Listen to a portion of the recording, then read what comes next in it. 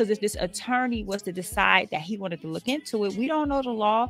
We don't know the right of his voice being on a recording. What if he would have said something that was that's damaging to his law license? You see what I'm saying? I think people are so set out to destroy Jag.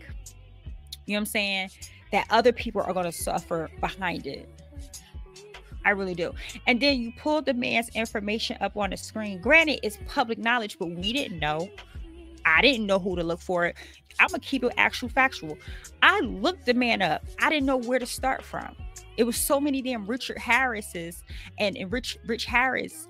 I did not know until she pulled his picture up, until she pulled up his information, and I was like, oh, so now if you wanted to, a bunch of people could have jumped into the chat and just started calling and just this is like YouTube does that. I've seen where people get a hold of a number and they will like flood the line. I don't think this happened to the man, thank God. But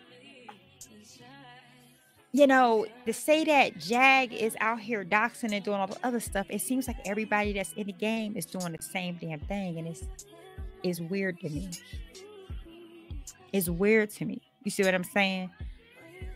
And I get everybody's feelings is in, involved you know, genuinely, these are these are the people I say that were genuinely hurt. Sip was not hurt by Jag. Cat was not hurt by Jag. Nobody else was hurt by Jag. Kimmie was genuinely hurt by Jag. I do believe OG Patrice was hurt by Jag. I just think she's doing it on a more. You see what happened? Her going after Jag. She no longer works with BB Films because she didn't intentionally mean to do it, but she put the picture up of where Jag was at, and somebody got the information and had the police sent there because Jag hurt these people. It, I'm not gonna beat nobody up no more about like how you didn't know, and it, it happens, right? I guess it happens. I guess you meet someone, you really want to believe the good in them until you get to see their mask come off, and then you're like, oh shit, this is what everybody's been talking about. You throw your hands up, by then you're too late because your feelings, your emotions involved. You realize you've been played. You realize the person don't have no capacity of actually caring about another human being and now you're you're upset you know i i just feel like don't let spite